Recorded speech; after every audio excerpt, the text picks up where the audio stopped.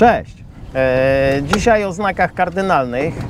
Nie będziemy się ich uczyć, jak one wyglądają, bo możecie się tego nauczyć z dowolnego źródła. I w każdej książce, w moich też jest opis, jak one wyglądają, we wszystkich książkach, od sternika motorowodnego, żeglarza, poprzez książki do nauki żeglarstwa morskiego, te znaki występują zarówno na śródlądziu, jak i na morzu. Dzisiaj tak bardziej od strony praktycznej, gdzie jak się zachować, e, widzę znak kardynalny i jak go powinienem minąć. No bo on pokazuje, z której strony, e, z jego której strony jest bezpieczna żeglowna e, woda. Tutaj w Kaliszu nie uświadczymy znaków kardynalnych, bo Prosna nie jest wodą żeglowną. Co prawda, oczywiście cały czas walczymy, walczymy, żeby Kalisz miał dostęp do morza, ale myślę, że to jeszcze chwilę potrwa. E, zapraszam do oglądania filmu. No i zobaczmy od strony praktycznej. Płyniemy sobie po morzu i widzimy znak kardynalny, zachodni. E, taka sytuacja będzie miała rzadko miejsce, bo rzadko spotkamy się z taką sytuacją. Ja się w życiu nie spotkałem, że mamy kawał otwartego morza i jeden znak kardynalny po środku. E, gdyby miało to być jakieś niebezpieczeństwo, to albo byłoby oznaczone odosobnionym niebezpieczeństwem, albo jakby było bardziej rozległe, to byśmy mieli kilka znaków kardynalnych. No może nie zawsze cztery, e, tak jak tutaj na, na, na prezentacji, ale byłoby ich kilka.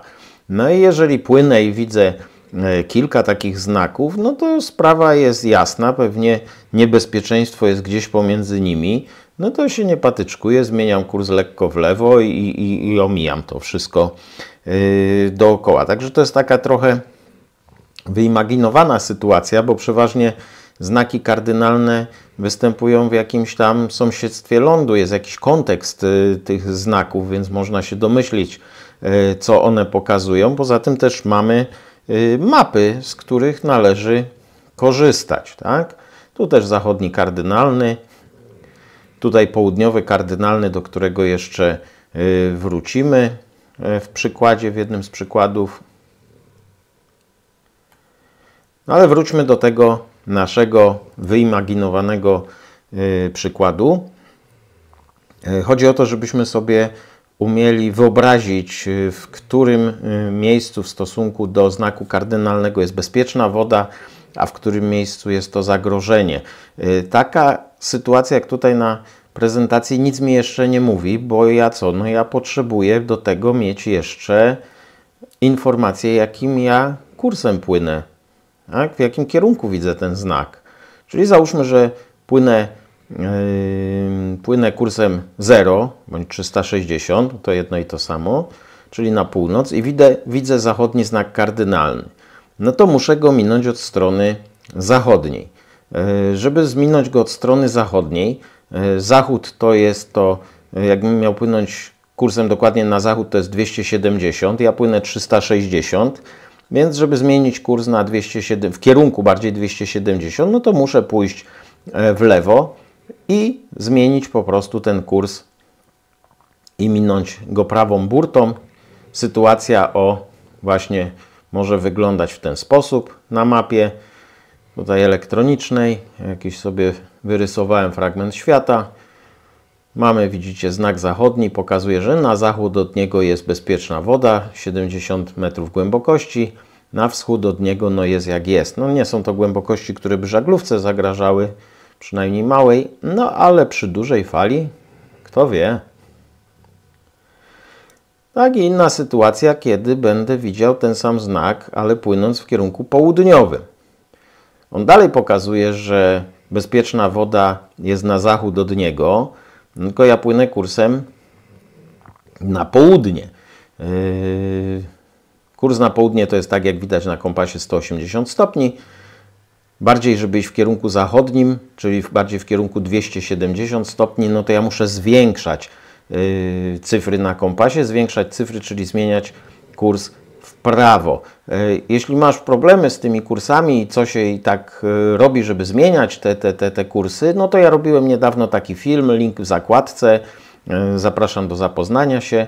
Po prostu, żeby zwiększyć cyfry na kompasie, to, to zmieniamy kurs w prawo, czyli tutaj bym musiał zmienić kurs w prawo i minąć go lewą burtą. No i sytuacja właśnie na mapie wygląda w ten sposób. No, gorzej by było, jakbym go widział płynąc dokładnie na wschód, czyli kursem 90 stopni. No bo ja znajduję się od jego zachodniej strony. Zobaczcie, zobacz, e, po prostu no, jakby kieruje się w kierunku tego niebezpieczeństwa. Oczywiście sytuacja jest naprawdę e, mocno wydumana na potrzeby tego, żeby ruszyć naszą wyobraźnię i zapamiętać te znaki i co się z nimi e, robi, co one pokazują. No ale to oznacza, że po prostu płynę w kierunku tego znaku, jestem po bezpiecznej stronie, po stronie bezpiecznej wody, a za nim gdzieś tam jest coś niedobrego. No tu musiałbym się zorientować na mapie, co jest niedobrego i, jak daleko to minąć. W rzeczywistości byłyby pewnie inne znaki jeszcze pokazujące, y, do którego miejsca sięga to, to, to, to niebezpieczeństwo. Dlatego zobacz, jak ważne jest planowanie trasy, żeby po prostu spojrzeć sobie wcześniej czy na elektroniczną, czy y, moim zdaniem jeszcze lepiej na papierową mapę, Film o planowaniu trasy też robiłem, zapraszam do obejrzenia. Link w zakładce i opisie. No niedobra zupełnie sytuacja to jest taka, jakbym widział ten znak płynąc na zachód. No bo co to oznacza? Oznacza to, że zobacz, znajduje się po tej stronie znaku. No i tu nie jest dobrze. Skoro do tej pory dopłynąłem i nic mi się nie stało, to znaczy, że jeszcze nie wpłynąłem na to niebezpieczeństwo. Może wypadałoby zatrzymać łódkę i zorientować się w sytuacji, co się dzieje. Tak? E, moja rada w ogóle do, do wielu, wielu innych sytuacji, jeżeli nie wiemy, co się dzieje, to zatrzymajmy łódkę i zacznijmy się na spokojnie orientować w sytuacji, bo skoro dopłynęliśmy do danego miejsca, jest bezpiecznie, w nic nie przydzwoniliśmy, no to mamy czas, żeby się e, zorientować, a nie brnąć dalej na ślepo. E, przejdźmy sobie do praktycznego, tak jak jest w rzeczywistości. Zajmiemy się tym znakiem, bardzo popularny, dosyć często go mijam w Chorwacji na szkoleniach. Zobaczymy sobie to na mapie elektronicznej. Tu mamy ciekawą sytuację.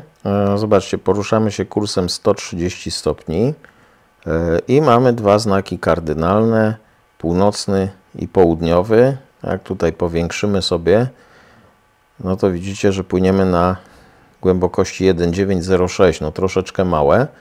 No i południowy możemy minąć od południa, północny od północy. Broń Boże, nie traktujmy tego jako bramkę. Wielu traktowało i się to źle skończyło. No i teraz mamy dwie opcje.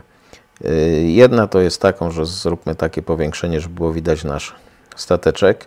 Jedna to jest taka, że będziemy mijać południowy od południa, czyli mamy kurs 130, musimy zmienić bardziej na południe, czyli go zwiększyć, tak? bo y, południe to jest 180 kurs, czyli musimy zwiększyć, więc musimy go minąć sobie od południa, czyli naszą lewą burtą. Tak, zmieniłem sobie kurs na 140, minę sobie go od południa. Inna opcja oczywiście jest minąć północny od północy.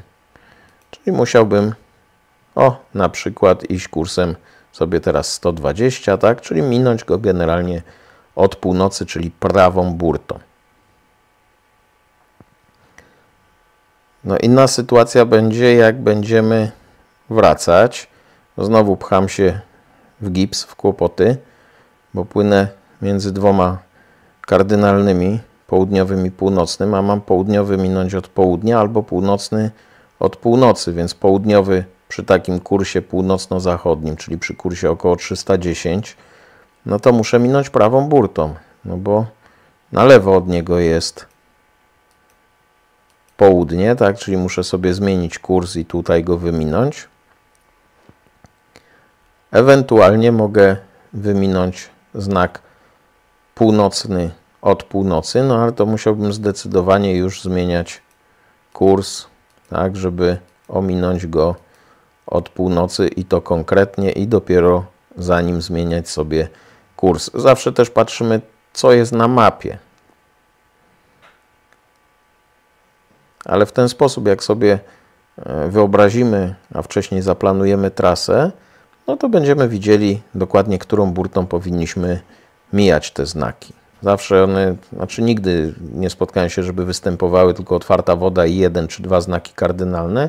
No zawsze mamy jakieś punkty orientacyjne, po których możemy się, e, po których możemy się orientować. No i tędy sobie po prostu przepłynąć. No i przenieśmy się troszeczkę na nasze podwórko, na Zatokę Gdańską. E, no bo jest pytanie, czy ja zawsze muszę te znaki kardynalne mijać tak, jak one pokazują. No zobaczmy, tutaj mamy e, pozycję naszego statku. Przesuniemy może ten cały symulator trochę do góry. I mamy południowy znak kardynalny, widać go dwa trójkąty w dół, zresztą żółto-czarny, wszystko widać, tak? E, no i ja bym chciał sobie go jakoś minąć. No i zobaczcie, tu głębokości zarówno po jednej, jak i jego drugiej stronie są e, duże. E, płytka woda się zaczyna, zmierzmy może. Dopiero trzy kable od tego znaku, więc tutaj spokojnie mógłbym sobie przepłynąć, tylko że trzeba zwrócić uwagę, że no raz bym musiał bardzo uważać, a dwa, że on nie stoi po nic. No bo gdybym chciał sobie w tym momencie podchodzić do portu Hell, o tu sobie ustawmy, no to, mm, no dobra, zmieńmy sobie kurs. Ktoś mi powiedział, że HLS-kę, bo tak się nazywa ten znak, mogę sobie mijać jak tam chcę, bo jest przy niej głęboko i proszę bardzo, zmieniam sobie kurs na Hell. Zobaczcie, co robię po drodze. Po drodze tnę po no, dość płytkiej wodzie, tak? po dość płytkiej wodzie i może się okazać, że się e, powieszę gdzieś tutaj na mieliźnie, więc nie mogę sobie tutaj, on nie stoi po nic, e, nie mogę sobie w ten sposób podchodzić do helu. Oczywiście jak znam, znam teren, no to sobie bym, że tak powiem, najpierw mogę sobie płynąć tu, kontroluję głębokości. Jak dopłynę tutaj, tutaj czarodziejskim sposobem, pyk, przesuwamy się, lubię pod tym względem symulatory, bo nie trzeba czekać. I w tym momencie, zobaczcie, mogę sobie na ten hel podchodzić. Natomiast jak nie wiem, jak nie wiem, to tą HLS-kę powinienem mijać jak, że tak powiem, Neptun przykazał, czyli od południa tędy, bo zobaczcie, że teraz się trzymam po głębokiej wodzie. Wręcz trzymam się, zobaczcie, tutaj pława stawa, w zasadzie prawa główka e, helu świeci w kolorze zielonym i białym, ale białym pokazuje właśnie ten sektor tutaj przy cyplu, w którym nie powinniśmy podchodzić, bo się pakujemy w płytkie. Tak? W nocy będzie prościej, w dzień po prostu sobie podchodzę e, tędy. Więc jak znam teren, to mogę zaryzykować, ale jak nie znam terenu, no to nie ma się co patyczkować i po coś ten znak został postawiony, więc od niego jak będę się kierował y, do wejścia portu Hel, no to zobaczcie, idę po głębokim. No i na koniec zagadka. E, płyniemy sobie takim kursem, jak tutaj mamy pokazany na kompasie. No i widzimy gdzieś tam daleko przed nami mm, białe światło o takiej charakterystyce, jak widać.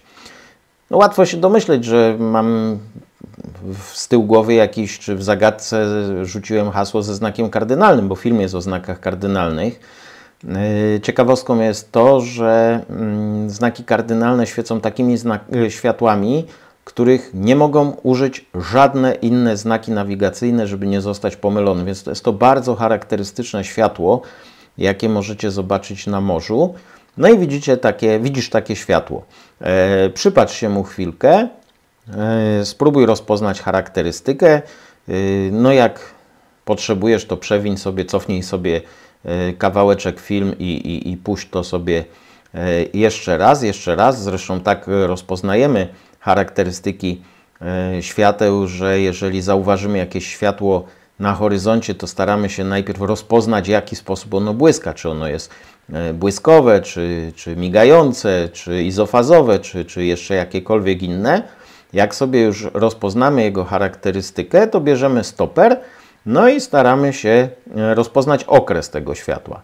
E, więc spróbuj sobie rozpoznać charakterystykę okres światła. Spróbuj wykombinować jaki to jest e, znak kardynalny. No, może zrobiłem podpuchę i to nie jest kardynalny? Nie, to jest kardynalny. Popatrz się na kurs i zobacz, i powiedz, co byś e, zrobiła, co byś zrobił. E, Czy zmieniamy kurs w prawo i mijamy ten znak lewą burtą, czy może zmieniamy ten kurs e, nasz w lewo i mijamy znak prawą burtą? Pisz w komentarzu, jestem ciekaw e, rozwiązania przez Ciebie tej zagadki. No i tak to z tymi kardynalnymi, czyli głównymi znakami bywa.